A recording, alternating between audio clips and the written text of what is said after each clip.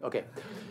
All right, thank you very much for uh, the invitation and for you being here to hear my talk, which uh, I apologize from the beginning that uh, it is going to contain at least some technical uh, aspects. So let, let me actually start from uh, the first slide. Uh, so that's um, general relativity is the subject of physics which contains most mathematics. It's the most mathematical of the physical theory. In fact, the language, uh, if you open any book in general relativity, the first thing you see are discussions about manifolds, uh, the um, metric connection, which is like sort of a derivative, a clever way of taking the derivative of the metric, curvature, uh, which is at the level of derivative of the Levi-Civita connection, uh, but it, it's extremely important because it has invariant properties and uh, plays a major role in geometry and, of course, in general relativity. and then there is a, a, tensor which can be formed from uh, the Riemann curvature tensor. It's called the Ricci tensor. Uh, it's a trace of the Riemann curvature tensor. And, uh, and finally, there is also the scalar curvature, which I didn't write it here, but it's another trace of this Ricci curvature. So uh, example, are obviously exa examples uh, of geometric structure of this type is, uh, of course, the Euclidean space, the simplest possible Riemannian re geometry. The difference between Riemannian geometry and Lorentzian geometry, which I have here, is the fact that uh, the metric here, uh, which is the metric of a Riemannian space, is, is positive definite It has positive definite properties. Of course, the simplest possible Euclidean metric is just the, the one given by the Pythagoras theorem. So uh, Minkowski is uh, a little different. There is just one small difference, which is that uh, the, the metric here is not just positive definite, but has a signature minus, plus, plus, plus. Anyway, let me, let me go to, uh, sorry, I have to Okay, so here is uh, uh, an exam, a picture of uh, Minkowski space. So Minkowski space is the simplest uh, example of a Lorentzian manifold. Uh, and uh, what is, again, what's remarkable about general relativity is that there is a very, um, very simple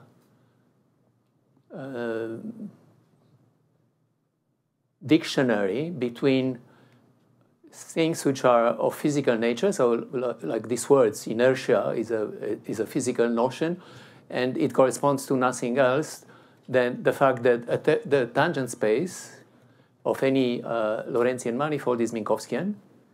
Uh, events, uh, so physical events, are nothing else but points on, on the manifold. Observers, physical observers, are nothing else but time-like curves. So light rays are nothing else but null geodesics. By the way, null geodesics is, uh, uh, throughout my talk, is going to be seen at, at 45 degrees. So this, this corresponds to the boundary of the light cone starting from this point here. Uh, so this is the Minkowski space with a light cone, right? These are rays at 45 degrees, which correspond to uh, propagation of light.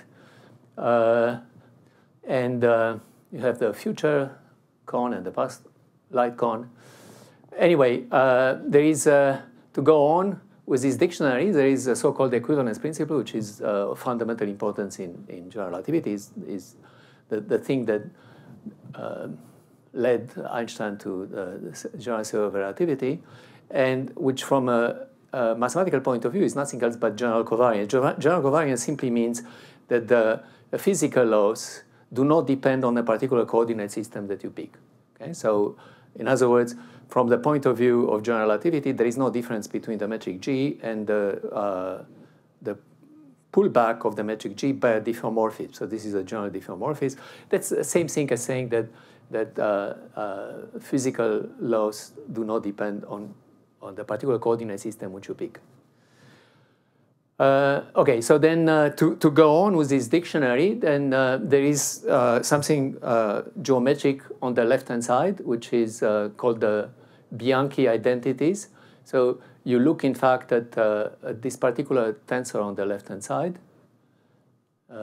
which comes up in the Einstein equation. So the Einstein equations are nothing else but what you see here. On, on the left-hand side, you have something completely geometric, which is defined purely in terms of the metric. And on the right-hand side, you have something which connects uh, the space-time, uh, which you are considering, to uh, various fields that exist in the space-time. For example, you can have a Maxwell field, or you can have a fluid, and so on and so forth. The remarkable thing about the uh, Einstein equations is that the geometric character of the left-hand side is such that it implies the conservation laws. Namely, uh, the, the, there is something called Bianchi identities in, in geometry, in Riemannian geometry, which in this case uh, simply implies that if I take the divergence of this tensor on the, on the left-hand side, I get zero. So this is automatically zero just from the geometric uh,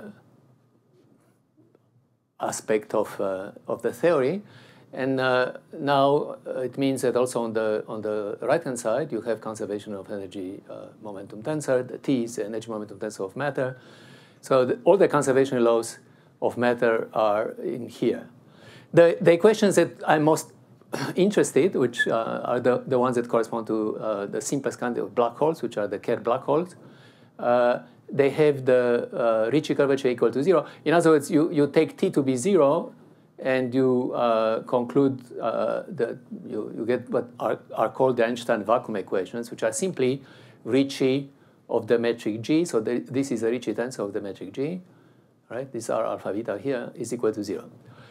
The, the equation turned out to be uh, the, the equation turned out to be uh, of wave type. Uh, by wave type, I, I mean that uh, somehow if you use the fact that the equations are uh, invariant relative to, to uh, changes of coordinates, you can pick up coordinates in such a way that uh, uh the equation here, which is uh, this alpha beta equal to zero, can be expressed as, as wave equations relative to all components of the metric. But, so, uh, so this is quite, a, again, a, a remarkable feature of the Einstein equations. You have to fix a gauge in order to see the wave character of the equation. So again, uh, this is just a, uh, just a wave, a standard wave equation applied to coordinates, so I pick up coordinates such that these conditions are satisfied, and then these equations become just a, a couplet system of nonlinear wave equations. There is no point in writing them down. The important thing is that they have a, a wave character. Uh, of course, being uh, Einstein equations being hyperbolic, so having this wave character, uh, means that you have to set up some initial conditions. You start with initial conditions. For example, if you have just the, standard wave equations, you, you uh, define the position and the velocity initially at time t equals zero, and they determine the dynamics of the wave equations for later time. Here, instead, you have to pick up uh, uh more complicated uh, tensorial objects which is, uh, uh, so this is uh, a Riemannian metric. This is a hypersurface on which you set up your initial conditions. So you, you start up with a hypersurface. Uh, so in other words, I'm in four dimensions, so one plus three dimension. So this is a, a three-dimensional uh, hypersurface. And uh, the initial data consists in, in setting up a Riemannian metric on this, and uh, which correspond essentially to the position uh, for uh, a standard wave equation, and the velocity, which corresponds to this uh, k0, which is more or less the time derivative, so the derivative in this direction of the metric g. Okay, so anyway, these things I'm not going to spend too much time on this. The, the important thing is that the equations have this wave character. Uh, therefore, you have to set up the initial conditions. You have some initial conditions which you can define. This, the, it turns out that uh, this, uh, this is what I call an initial data set, right? A three manifold, a Riemannian metric on it, and then a tensor, K0, which corresponds, which is in fact sort of a second fundamental form. And uh, they also have to satisfy some constraint equations I'm not going to get into it. This is very similar to what happens to the Maxwell equations. If you write down the Maxwell equations, the initial data of the Maxwell equation, you can prescribe the electric and magnetic field. but you also have to have some divergence conditions verified initially, right? So these are the constraints. So the same thing here, there are some nonlinear constraints which, uh, which have to be verified. Uh, so uh, the first important result in this theory is a so-called Bruhat-Geroch theorem. So this is something that was proved in the 1950s. Uh, so that's Yvonne Choquet-Bruhat uh, that first proved this result and then later on was uh, enhanced by Geroch, which tells you uh, what, what the result tells you is that if I start up with an initial data set, so I start in other words with initial data, uh, verifying these constraint equations, which I, am not going to write down, uh, then I can associate to it unique solutions of the Einstein vacuum equations, which are this one. Right? So I, am really looking in vacuum right now. Uh, and again, the result is that I can associate a solution, uh, a solution which is, you should think about it as being local in time. If I have a nonlinear equations, for example, the simplest one will be x dot is equal to x squared. You have an existence result, but the existence is only true for a certain amount of time. The solution could blow up. And the same thing can happen here. This solution does not guarantee anything about the global character uh, of uh, the, the result doesn't guarantee anything about the global character of the solution. In fact, uh, you can extend the solution. This is a Geroch part of the result. Uh, there is a maximum uh, future global hyperbolic development, ne never mind exactly what it is, is roughly the longest time of existence that I can prove for the Einstein equations, right? So uh, the space-time uh, that I, I construct is, is, uh, is local uh, in the sense that it can have boundaries, right? They are, not, they are not described here, but they can have boundaries where things blow up. So the, the solutions after a certain amount of time can blow up, which of course is not very pleasant and doesn't tell you much about the Einstein equation. So, the, but this is a foundational result insofar as uh, all the future uh, aspects of general relativity can be ex expressed in terms of this notion of uh, maximal future global hyperbolic development. In other words, everything that we do is, in a sense, understanding the qualitative features of the uh, of this uh, maximum future global hyperbolic development. In, in other words, understanding the boundary, understanding if you have blow up, singularities, and so on and so forth, black holes, and whatever. They, lots of things can happen. Okay, the result tells you very little, but it at, at least allows you to uh, say that from now on, uh, general relativity is nothing else but understanding the, the global features of this maximum future global hyperbolic development. All right, so let's let's uh, go on. Uh, So uh, I, here I have something about mathematical GR, uh, which uh, is an explanation of what are the important things that we study in mathematical GR.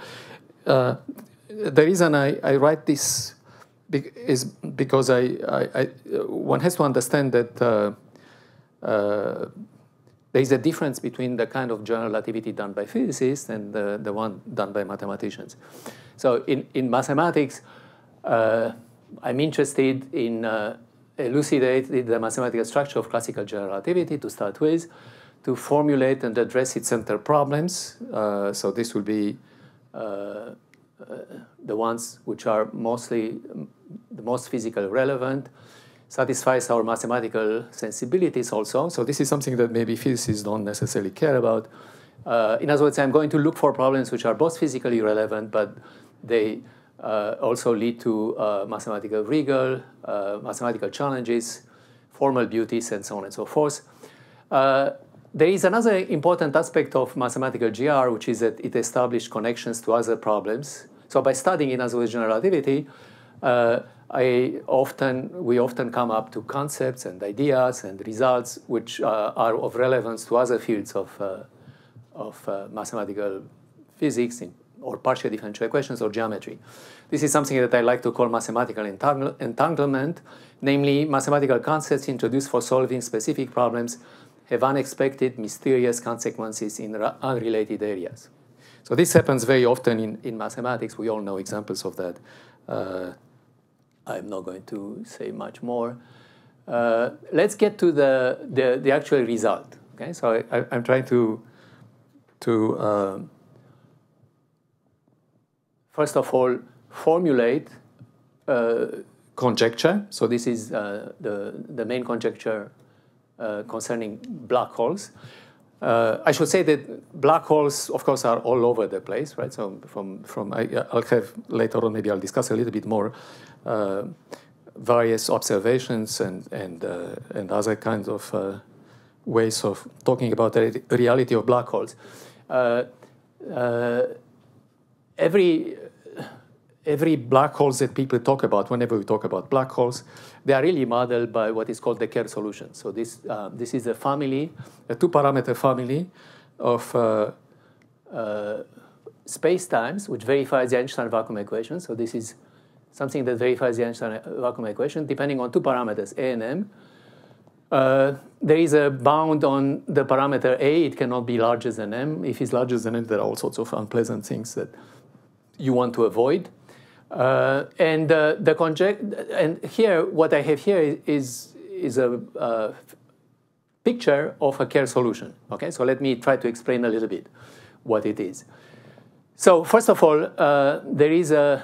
I'll, I'll go more with more details in, in a moment, but uh, right now, what I want to draw your attention to is that, that these regions, the region here, which is uh, called the domain of outer communications of the Kerr solution. So it's an observable part of the space-time, right? So you can assume that uh, we as observers, uh, we are uh, somewhere here, right? And the black hole, whatever comes from the black hole, uh, whatever is connected with the black hole, is really inside this region. So this is, in fact, the, the black hole region. There is a horizon, which is a boundary between the observable part, domain of outer communication, in other words, and the, the black hole. Uh, the, there is a funny feature of these Kerr solutions that actually you have two domains of outer communications, which is not, uh, physically is not very interesting. So actually, we usually uh, consider just these two parts, right? So we consider this domain of outer communication, forget about this one, and the black hole region. Uh, so what, what, what are the interesting aspects of the black hole region? Uh, relative to the domain of outer communication is that uh, at every event here, will let's say that we have an event that propagates with velocity of light. Uh, it will go at 45 degrees, and it will go either in this direction or in this direction. If it goes in this direction, it will reach what's called scri, which is uh, future null infinity. So this is something happening uh, at infinity. In fact, there is uh, what, what I have here, the, these boundaries, are obtained from a conformal compactification. So this is a, the standard Penrose con con conformal compactification. And, uh, uh, and uh, if you think about this parameter R, which is uh, very important in the discussions of the black hole, uh, you see uh, R is less than R plus here, is larger than R plus here, and goes to infinity on, on this boundary, which is this, the future null infinity boundary. There is also a past null infinity. Anyway, uh, again, I was just saying that the difference between this side, the black hole region, and this region is that uh, an event propagating with the velocity of light will end up here on scri, so in infinite time, so it will take infinite time to get here, or it will go, will go through these boundaries and, and will get into the black hole. Once it's in the black hole, it cannot escape there is no escape. You can never go back to the domain of outer communication. Okay? In fact, actually, it's even worse. Uh, so this is the case when uh, a is different from zero. If a is equal to zero, in fact, uh, the, the boundaries which I have here are equal r minus. Uh, in fact, it's going to be r equal zero, and you'll have a, a, a, singularity, in fact, exactly at this boundary. The, the boundaries are equal r minus, which are, are boundaries of the, of the black hole for a Kerr solution that are a little bit more complicated, but I'm not going to get into this because I'm mostly interested in what's happening uh, outside the black hole. All right. So here, what I draw here in red is a space-like hypersurface. Again, I'm not interested in this part. Uh, I take a space-like hypersurface, which goes all the way up to here. By space-like, I simply mean that uh, at, at every point, uh, the normal to the hypersurface is, is time-like. So it, anything time-like moves in this direction, Again, everything nulls in this direction and everything space-like in this direction. So, uh, so this is a space-like hypersurface, and I look at the induced initial conditions of my Kerr metric on, on, on this, uh, on this hypersurface. So I'm going to get uh, uh, an initial data set, which is exactly the initial data set of Kerr, right? And perturb a little bit that initial data set. So I change a little bit the, uh, the position and velocity, if you want, uh, of the Kerr solution. And the question is what happens in, uh, in the long run. Of course, uh, we have the, uh, the Bruhat-Geroch local existence result will tell me that I, I can extend the solution a little bit, but of course, I, I want to have something global. And uh, the conjecture, in fact, tells you that general initial uh, vacuum, so Einstein vacuum perturbation, so that means uh, my initial data that I perturb here, the, I perturb the Kerr, and I, I perturb it in the speed of the Einstein vacuum equation. So in actually, I solve the Einstein vacuum equations.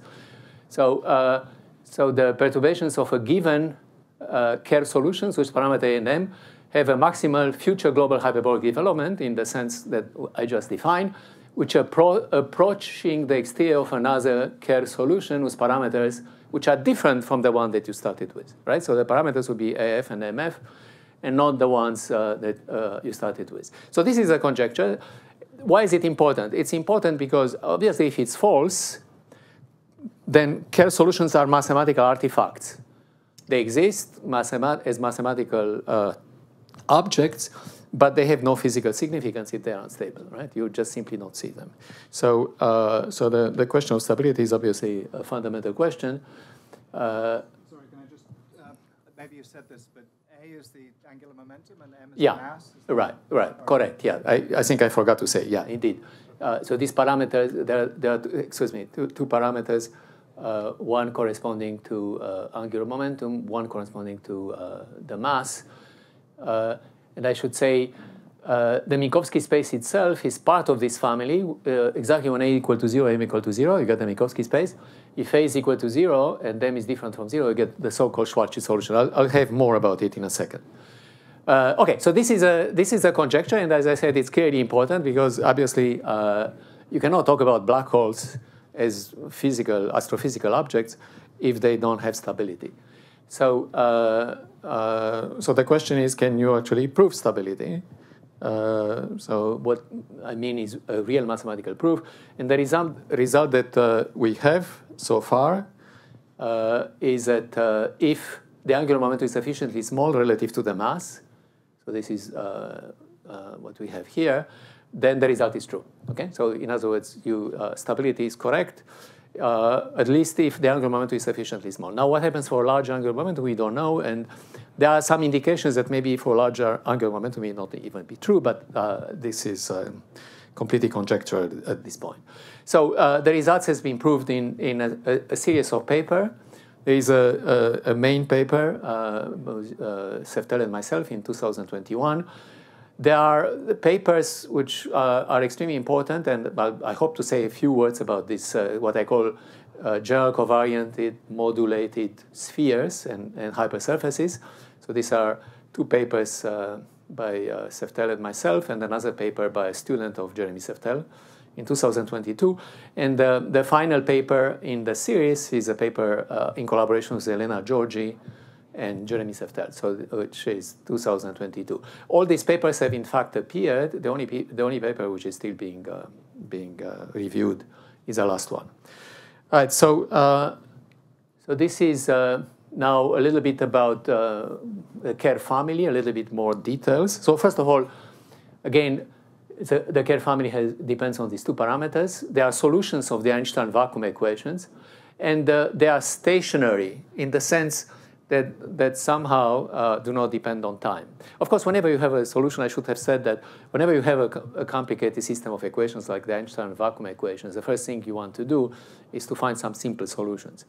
And the simplest possible solutions uh, you can think of are the ones with symmetry, and the most natural symmetry is a stationarity, the, the uh, notion that somehow solution does not depend on time. Of course, in general relativity, the fact that it doesn't de depend on time is already by itself is, is a non-trivial notion because general relative, I mean, these are relativistic equations, so the, there is no precise notion of time. But anyway, uh, this can be made precise. So uh, the, uh, there is a Minkowski space, obviously, where A is equal to 0, M equal to 0. So that's the simplest one. Uh, there is a Schwarzschild one, which again, uh, I always make this mistake. It's ni 1916, uh, in fact. Um, immediately, Einstein actually had the theory in 1915, and the Schwarzschild solution was discovered already by Schwarzschild during uh, the First World War, in fact, and he died. Very unfortunately, uh, fortunately, he died after he wrote his paper. the Kerr solution was discovered much later. And uh, the reason it was discovered much later is complicated. One can spend a lot of time talking about it. In fact, it took a long time for people to really understand the Schwarzschild solution. So th this was already uh, sort of a major problem. It took, it took more than 30 or 40 years. Einstein himself was actually quite uh, intrigued by the uh, kind of singular character of the Schwarzschild solution. Anyway, but uh, uh, let, me, let me go on let's talk about the, the Kerr family. So uh, again, it's not important. I mean, there are some formulas here, but it's not too important to really try to understand what it says. Uh, the important thing, uh, which is remarkable, is that uh, you are solving the Einstein equation. So the Kerr solution is a solution of the Einstein vacuum equation, which is a very complicated system of equations one of probably the most complicated uh, partial differential equations there is. And uh, you are solving explicit, you find an explicit solution as explicit as it can be. You see, it, depends, it, it, it's a solution in a particular system of coordinates, which is called the Boyer-Lindquist coordinates. These are the coordinates t, r, theta, and phi. Okay, so, okay, so if, and these are the coefficients in front of it, which, as you see, they are extremely precise and rather simple. I mean, the solution look, may look complicated, but it's amazing, actually, that it, it, it's not that complicated if you think that this solves actually uh, uh, uh, the Einstein equations. So I, I like to think that uh, there is no other explicit solution in, in mathematical physics, in all physics, uh, which is so simple conceptually and so important uh, except maybe the, the Newton's uh, uh, solution of the, of the two-body problem, right? The, the, the, solution of the two-body problem had a, it's also very explicit, it had an enormous impact. The same thing about this one. So this is uh, remarkable. Again, if, if I'm to uh, point out some interesting features of the solutions without, don't, I don't care about the I don't care about uh, the, the exact formulas, is that uh, First of all, it's stationary. That simply means that the coefficients are time independent, right? You can see it from here. There is no t entering in the coefficients. Uh, it's also uh, axis symmetric, which means that the coefficients also do not depend on this parameter phi.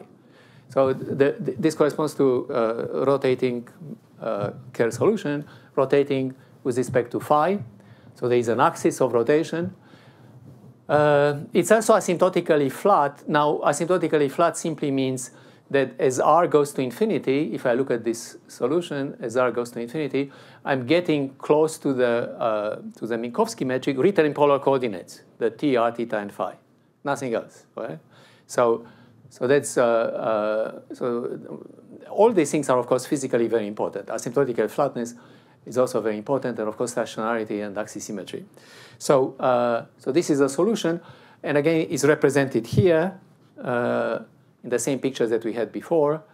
Uh, and once again, this is the domain of outer communication, and this is a black hole. Again, everything at 45 degrees, it corresponds to uh, propagation of light.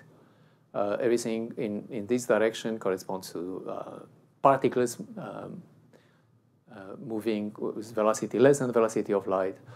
Uh, this is uh, null infinity, uh, future and past, and so on and so forth. All right.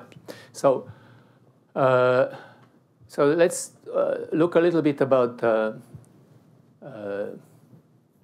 Kerr family. Uh, a few more words about the Kerr family. So here, here is something which is very important in the proof. So uh, obviously, I will not be able to go through the whole proof, but I, I can point out at least to some uh, important features. So uh, what I have here is actually, uh, let's go back for a second, is actually uh, the same the same region as this one here. Without the past, I don't care about the past. So I'm looking at only what happens Uh, to the future of this uh, red line.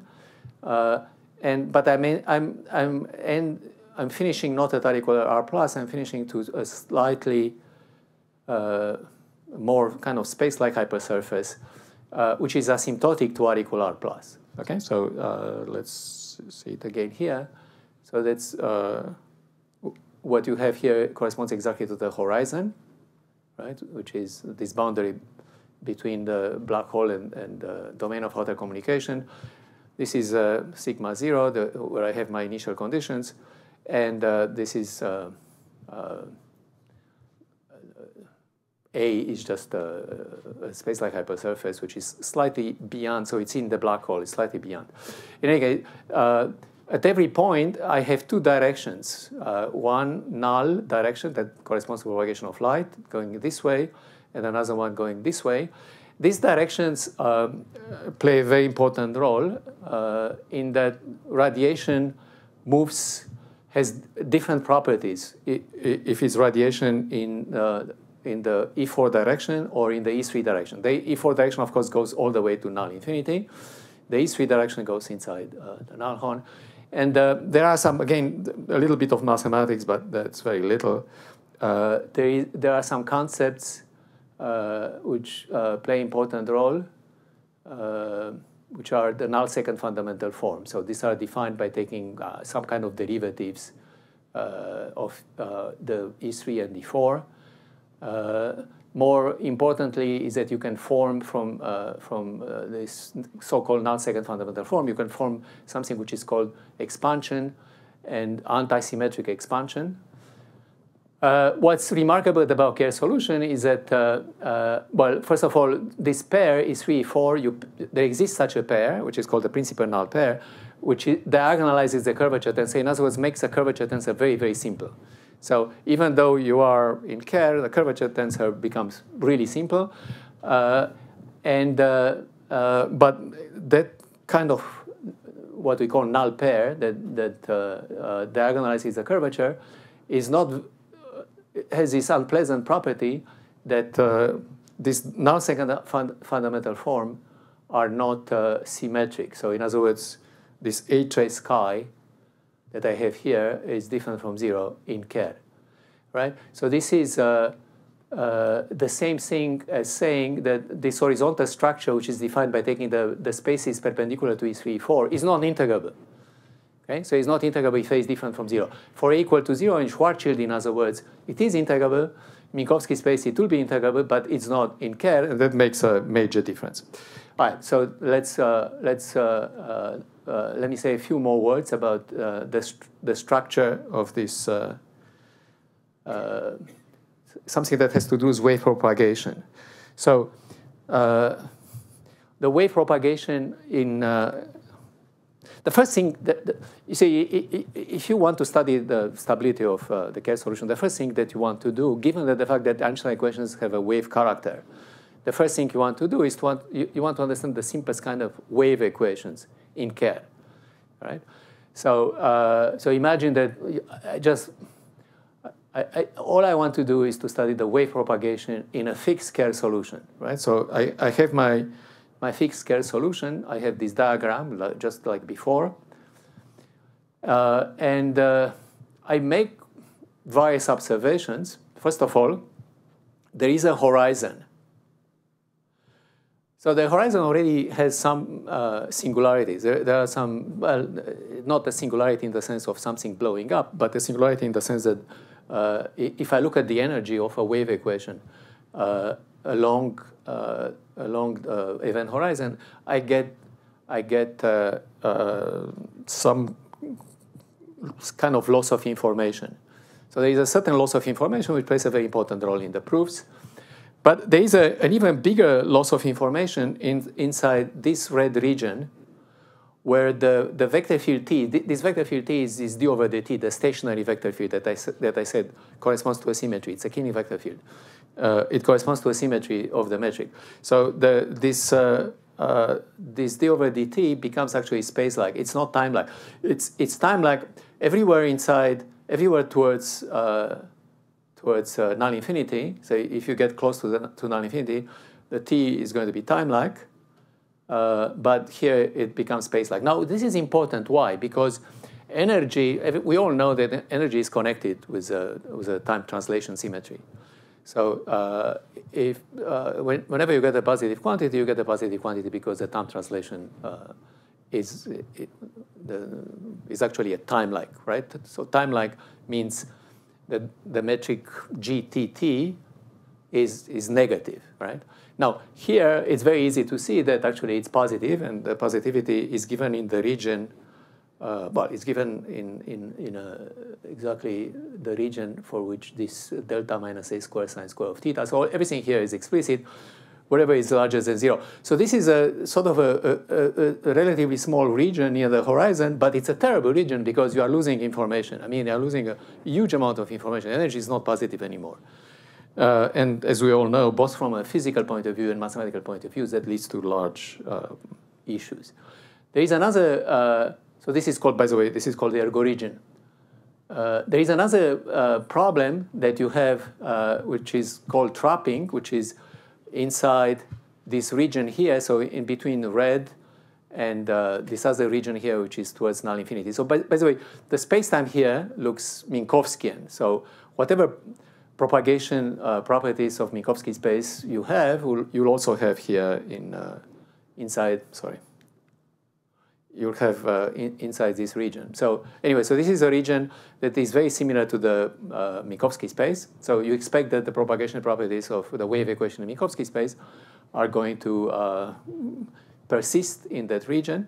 But unfortunately, you have, uh, you have this other region here, uh, which is very unexpected, and that's uh, called the trapping region. So these are uh, a, re a, region of trapped null geodesics. So let me say a few words about this.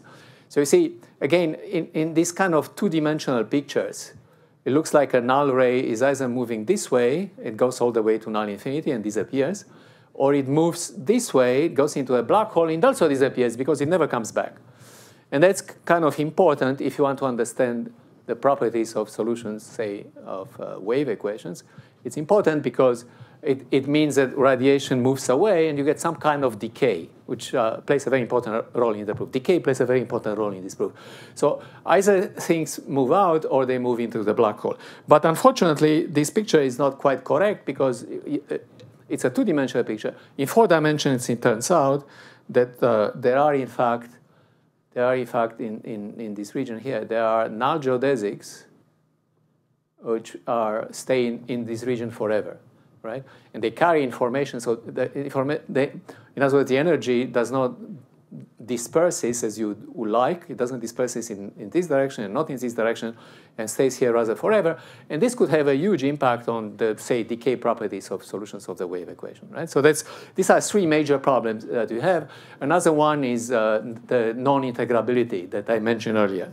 Uh, okay, so let's, let me go on. Okay, so again, uh, I, I, I, try to put together what we discussed so far and sort of uh, summarize what are the main difficulties in proving such a result. So first of all, Einstein vacuum equations are strongly coupled tensorial, hyperbolic means wave character, uh, and nonlinear. So these are the worst possible things that you can put together in, in one proposition. Right? Uh, strongly coupled, tensorial. Anyway, they are very difficult equations to start with. And uh, the Kerr solution is also sort of a, I mean, it's, you can write it down. Uh, it's very explicit, but still, it's very complicated for the reason that we just saw, for, because exactly this region that we have a horizon, ergo region, trapping, null infinity, non-integrability that we discussed. So, uh, so the non-trivial character of, uh, of the Kerr solution. And an, another major thing uh, that plays a fundamental role, which actually, in a sense, goes both way. It's, it's both a difficulty, but it could also work in your favor. And in fact, it plays a fundamental role in the proof. And that's uh, the gauge group, the fact that you have this huge diffeomorphism group. Uh, so the Einstein equations are invariant under this huge diffeomorphism group. And now, if you want to describe sort of the character of wave propagation uh, on the solutions of the Einstein equation, the difficulty is that uh, decay, so decay is very important, as I just said, right? Because you, you want things to, to sort of become smaller and smaller, and so that you, you, you have a chance to control the nonlinear terms in the equations. And, uh, uh, but decay is a gauge-dependent notion, right? So the, the decay of the wave equation, so for example, we know that the wave equation decays in, in Minkowski space, 3 plus 1 dimension, decays like t to the minus 1. But t to the minus 1 is, relative to a coordinate, a fixed coordinate, uh, which is uh, an inertial coordinate of Minkowski space. If I change coordinates, as uh, you have to do when you deal with this, uh, this problem, uh, you'll get uh, something entirely different. So anyway, so just to, to make the point that I want to make is that somehow decay is uh, a gauge-dependent condition, right? So, uh, so different gauges, you can have completely different type of decays. Uh, on the other hand, you need this quantitative decay, right? So uh, what, what do I mean by quantitative decay?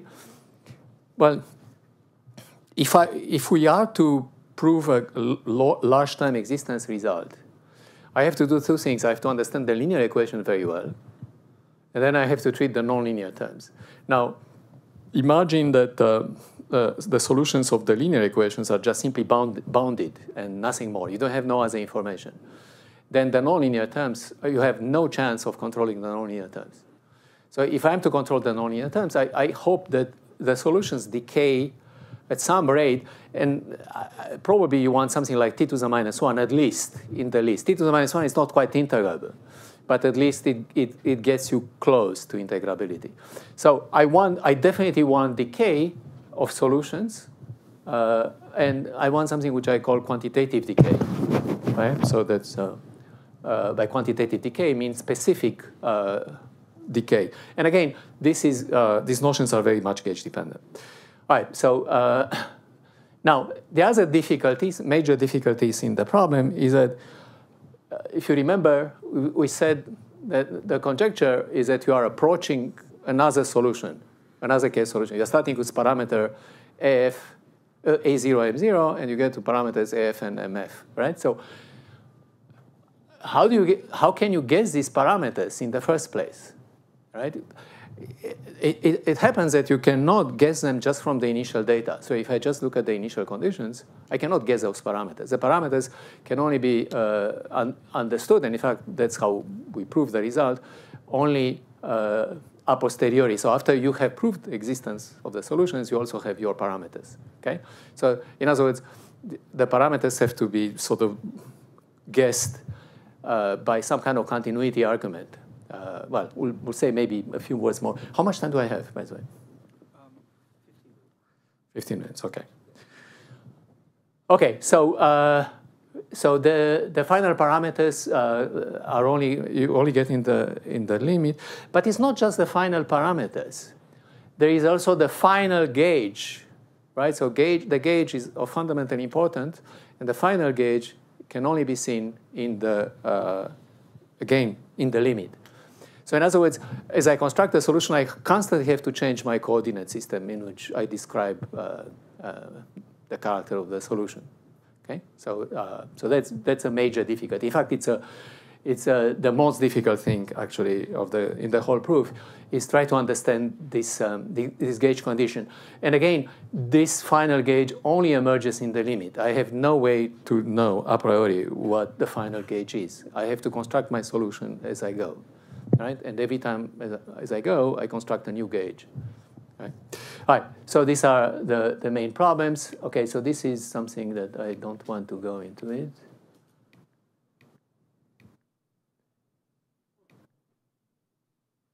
All right, now, uh, maybe I have a few time. Uh, uh, I can. I have some time to talk about sort of the general stability problem. So just to be able to compare somehow the problem at hand with other problems uh, of stability. So typically, stability shows up uh, in uh, in a, some kind of nonlinear problem, right? some nonlinear PDE for which, let's say, we have a stationary solution. So this is phi 0. So we have an explicit solution. And, and I want to perturb it, right? So I, I want to look at uh, a solution of the form uh, phi 0 plus psi, where psi is sufficiently small. And uh, we have various uh, versions of stability. Of course, there is a simplest one, which is orbital stability, where you show that for all time, st goes to infinity, right? So there is a time, of course. These are all evolution problems uh, for as t goes to infinity, psi stays bounded uh, of size epsilon. So it doesn't grow, right? So the perturbation, if I start up with something of size epsilon, it stays uh, in the same range. Then there is asymptotic stability, which is much more precise, which tells you that uh, not only you stay within epsilon, you actually go to zero. So in other words, the, the, the, entire solution goes back to phi zero, which is a stationary solution. So this is asymptotic stability. Uh, there are lots of examples like this. Uh, and then there is an orbital asymptotic stability, okay, which is a case of interest to us. So this is the case where you converge, you do a perturbation and uh, of phi zero, but you converge not to phi zero, you converge to uh, this final state f, right, phi f. So, and that's our situation. Okay, so now, now let's look at the linearized uh, picture. So we linearize the. So obviously, whenever you have a nonlinear problem, the first thing you do is you linearize. So these are the linearized equation around, around phi zero, around the stationary solutions. So I have a, a, a linear problem in psi, and with coefficients which are determined from phi zero, excuse me, uh, coefficients which are, are, are uh, so the coefficients themselves have symmetry. So for example, if phi zero is the Kerr solution, you have all the symmetries of the Kerr solution, which are not too many, but they have some. And uh, uh you can use them in order to uh, decompose this linear equation here into modes, right? So for example, spherical harmonics or orbital, whatever. Okay, so depending on the situation. So you, you decompose it into modes, you, in other words, separation of variables, and uh, you prove that every mode is stable. This, this is the first thing that you can try to do, so, and that's called mode stability. And uh, here, the thing to show is that there are no growing modes. Right, so this is typically that's what physicists do. So when physicists look at the stability of Kerr solutions, and there are lots of uh, lots of people who have looked at this problem, and there are lots of very beautiful results, in fact. But they all end up with just a, a mode stability type result, right? So that's mode stability. Mode stability does not even imply boundedness. You don't even know that the solution psi that you are getting here is bounded, okay? Because you have to sum now all the modes. And even if they are bounded, it doesn't necessarily the sum is bounded. So that's one major problem that somehow in the physics literature is not treated. Uh, but of course, what we want is not just uh, yeah, this maybe I should have said, uh, you can almost never prove the orbital stability result. Asymptotic stability you can prove sometimes. Uh, for example, if you are perturbing a trivial solution, uh, then you can do it. Uh, but uh, uh, if you have orbital stability, yeah, so in any case, what, what I want to say is that what you need to do is quantitative decay, and you need quantitative decay both in this case and in this case. Of course, this case is much more complicated, but uh, quantitative decay is needed in order to treat the nonlinear terms, right? So, so I linearize, but of course, the nonlinear problem has all sorts of uh, quadratic and higher order terms, which also have to be controlled.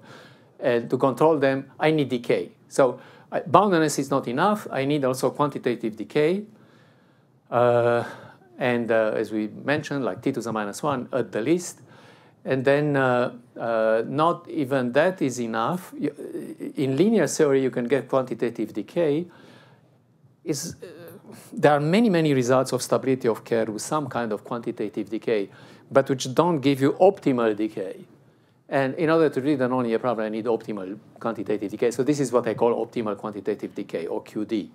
Okay, so anyway, as you see here, Uh, mode stability does not imply boundedness. Boundedness does not imply quantitative decay.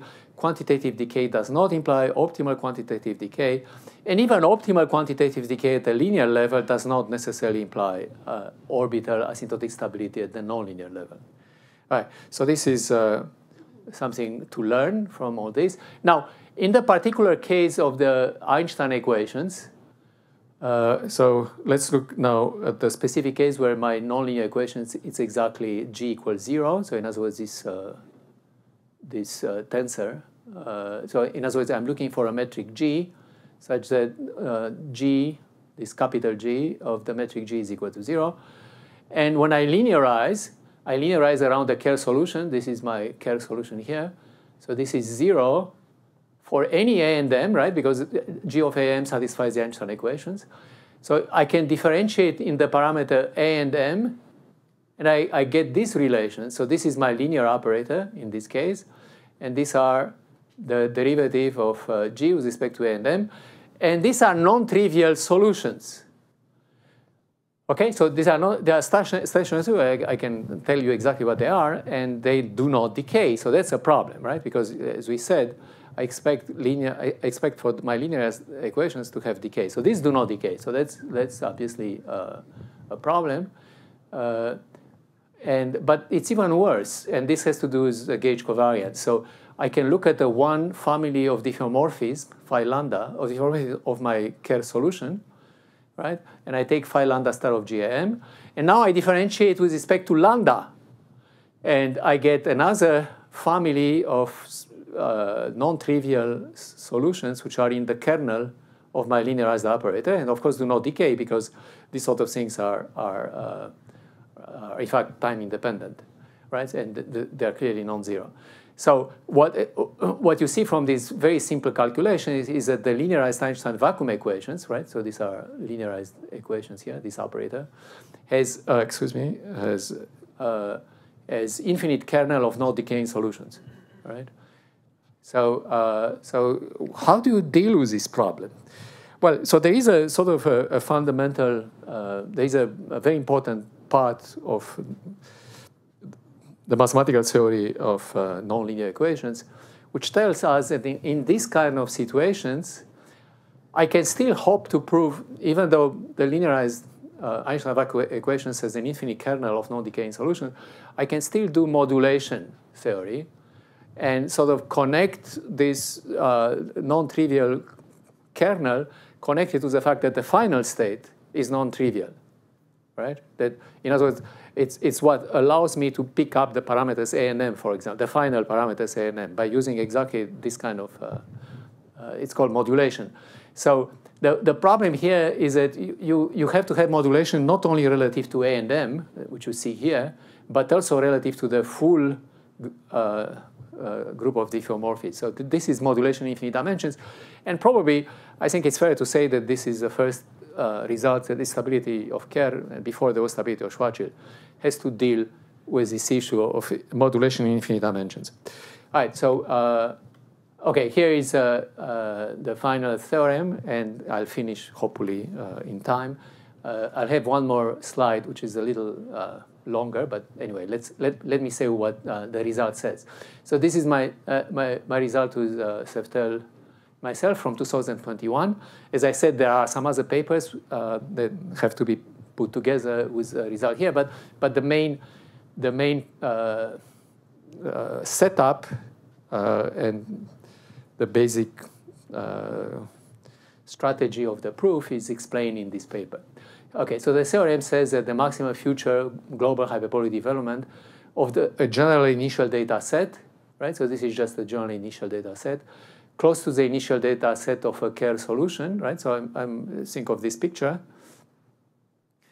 Uh, has a complete future null infinity. So what does it mean? Complete future null infinity is that uh, that this boundary at infinity, this comes from, from uh, conformal compactification, this boundary is, is an infinite boundary.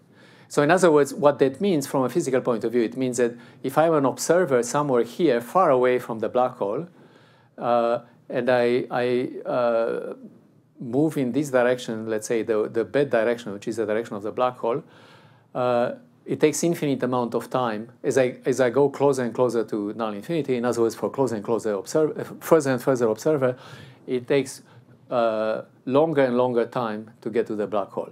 And, I mean, and of course, if I go all the way to Scri, it takes uh, forever. You'll never reach the black hole. So, uh, so this is called complete completeness of future null infinity. It converges in the past. So what, what is written here is a past of Scri plus. In other words, all the events here are events in the past of Scri plus, all the way up to the horizon. So for example, th these events here will not be in the past, right? So it tells me that in this region, uh, it converges to a nearby Kerr solution whose parameters A infinity, M infinity, right? So they are the new parameters that I have to find. Uh, and uh, has an event horizon. Uh, sorry, event horizon should come here. Has an event horizon, which is this one here, which I have no idea what it is until I have actually proved my result. Okay, so it's again a posteriori. I know that there has to be a, an event horizon, and uh, it also has a recoil moment, which is an interesting uh, physical fact, which is that the uh, if you look at the center of mass frame of the new black hole, it moves relative to the old one. Okay, All right, so this is uh, this is uh, uh, these are the, the main things. Now there is this other one, which actually uh, brings me to the proof of the result, which is that the space-time is a limit. So the space-time here is a limit of finite GCM admissible spacetime. And with this, I, I hope I still have a few more minutes to well, at least say something about that. Like one or two. Okay, so the, anyway, this is, this is uh, unfortunately, uh, this is the main slide, so I won't be able to say too much. Uh, but uh, maybe I can say just a few words. So, so somehow the, the solution uh, is obtained by a construction, some kind of continuity argument. Uh, where you construct a sequence of space-time which I call GCM admissible. So these are GCM admissible. You see the, the space-time here, uh, the most important thing, well, this will be initial conditions. So whatever you see here are things that I already know. So the space-time, I can construct from the initial data by using results which are already known. I can construct all the way in, inside this region. So that's the region of the initial data. And then uh, there are these new boundaries. So this is uh, the boundary away from the horizon, which is a space-like boundary. There is another boundary here, which I, is not too important. Uh, the, what I want to tell you about is this boundary. This, this is a fundamental boundary. So the, the, essentially, the whole ideas of the construction is in here. So this is a, uh, these are called GCM, this is called the GCM sphere. So this is a, a, a sphere that verifies some conditions non-trivial conditions that really fix the uh, gauge condition. So the, the gauge condition, the way you fix the gauge condition is by uh, constructing these spheres. I mean, I, I, say constructing. Of course, in this picture, I can assume that uh, S star verifies all, all, sorts of conditions. The same thing about sigma star. Sigma star also verifies some conditions. Uh, and all have to do with the gauge freedom that I have. There is a, the gauge freedom. I can pick up the gauge I want. But you see, I'm picking the gauge uh, at the future boundary, right? So, so you see, I, am picking up my gauge condition at the future boundary, in particular here. And uh, uh, that's why uh, in, in, my continuity argument, which goes like this, I mean, I, I, uh, I have a bootstrap for those people who know what the bootstrap is. There is, okay, let, let me explain very fast. So the, there is a in, initial condition uh, is measured relative to a parameter epsilon zero. I have a bootstrap condition uh, which is measured relative to a parameter epsilon, typical to nonlinear problems. Uh, and uh, I assume that my spacetime has these boundaries, in particular has this GCM boundary, this general covariant modulated boundary. And uh, using uh, this fact, I can show that everything that corresponds to my bootstrap assumptions can be improved from epsilon to epsilon 0. Epsilon 0, again, is uh, the size of the initial data. So then the proof goes like this. Uh, so uh, by continuity argument, I assume that I have space-times verifying all these properties, in particular the bootstrap. bootstrap is a size epsilon, and I assume that at, at some point I cannot go any further. In other words, the bootstrap is exactly of size epsilon and not, nothing better, right? That's typical to a continuity argument. But then I use my GCM conditions and many other things uh, in order to uh, in order to uh, show that in fact I have better properties. I prove better uh, results.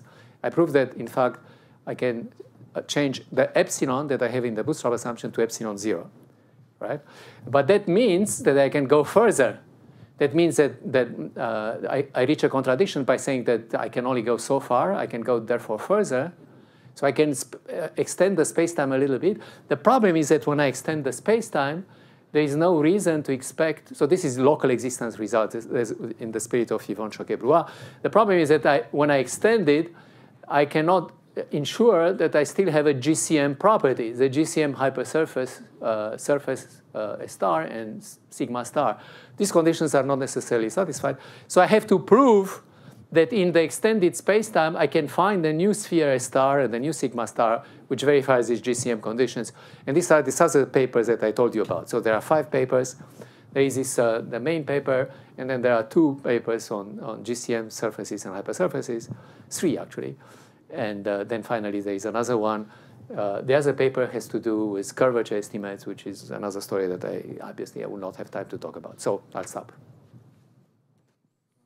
Any questions for the speaker? Time for one or two.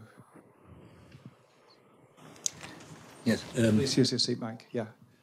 Yes. Um, what can you tell about the interior region past H plus in your construction? Is completely unknown? Yeah. No, it doesn't say anything. I mean, the, the whole beauty is that I, don't, I can separate what happens inside from the outside. Inside, of course, it's extremely interesting. There are many other conjectures. I don't touch it.